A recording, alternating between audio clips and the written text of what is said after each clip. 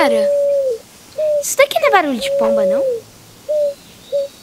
Você? O que, que você tá fazendo aí em cima, moleque? Ah, é que eu subo nessa árvore quando eu tô meio triste. Ah, e você tá triste por quê? Ah, é que eu tomei um cartão que eu não queria ter tomado e eu tô triste. Ah, entendi. Mas e aquele seu amigo lá? Tá tudo certo com ele? Meu Deus, hoje é aniversário dele. Preciso encostar lá. Eu quero comprar um presente pra ele.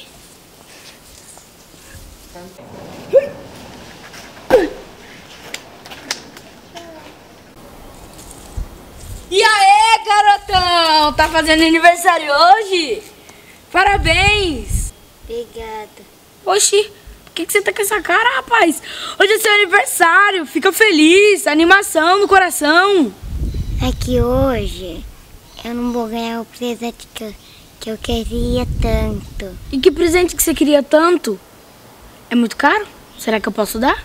É que eu queria um banquinho. Sabe aqueles banquinhos de praça? Mas como assim, banquinho de praça? É que eu gosto de ficar aqui embaixo dessa árvore. Que tem vários passarinhos aqui. Ah, eu queria esse banquinho pra ter sentado nele. E aonde você ia colocar esse banquinho? Que eu quero colocar o banquinho aqui meios, nessas duas árvores, nessas folhas secas. E você já viu onde tem um banco assim? Sim, naquela pracinha.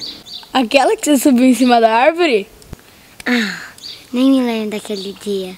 Hum, mas peraí. Se tem um banquinho aqui perto, aqui na praça, eu posso ir lá e pegar um banquinho pra você. Eu acho que não pode. O, o banco da praça. Tá bom. Eu vou te falar uma coisa que a minha professora me falou na última aula de português. É, ela mostrou um, po- um poema de um poeta chamado hum, Castro Alves. Eu nunca ouvi falar. O poema dizia assim: A praça é do povo, assim como o céu é do condor. Então, se a praça é do povo, tudo que tem na praça é do povo. Vou lá buscar pra você.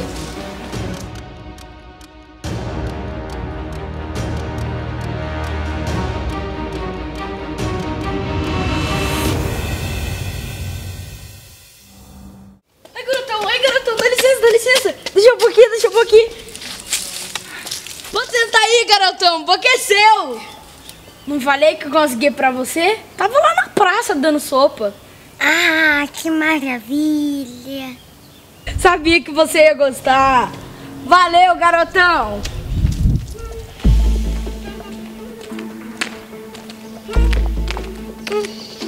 Espera. Você é a Nara. A gente se conhece? Você não me conhece, mas eu conheço você junto com as fotos com a Yara. Você não é amiga dela? Sim. Mas você é amiga dela? Sim, eu sou Melissa. Eu sou amiga dela da escola. Eu vim aqui dar um recado pra ela. Ih, nem adianta subir. Ela saiu. Ah, o que eu tinha pra falar era tão importante. Ah, fala comigo. Depois eu passo pra ela. É que eu ia contar um negócio pra ela. Sabe o Iago, o amigo aqui da rua dela? Ele tá saindo no site da internet que ele roubou um banco. Iago? Ladrão de banco? Mas ele é uma criança. Eu falei com ele hoje cedo e... É que eu tomei um cartão que eu não queria ter tomado e eu tô triste. E o quê? Nada não. Eu só preciso falar com a minha mãe agora. Tchau!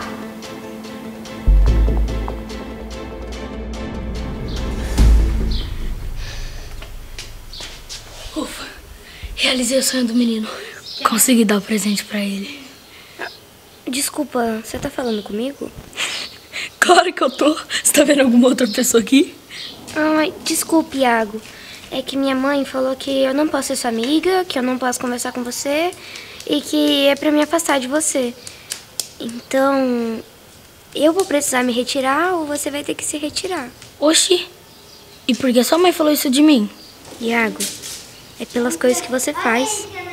Já saiu até no jornal. Todo mundo já tá sabendo. Todo mundo tá sabendo do quê?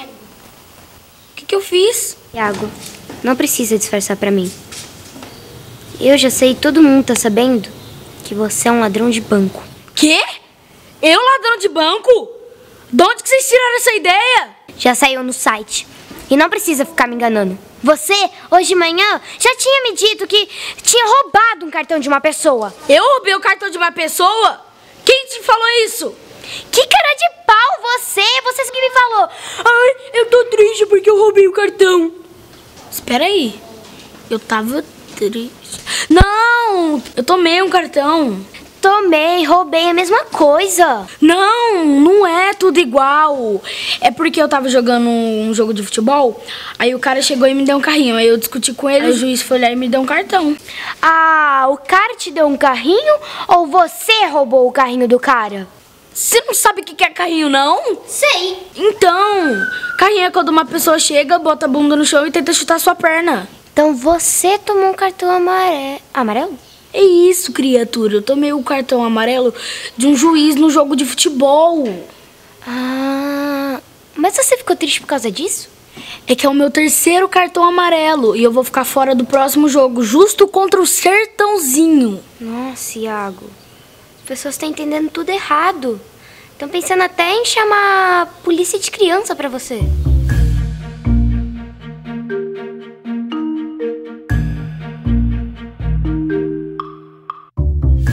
Às vezes a gente julga as pessoas quando não devia. Eu fiz isso hoje.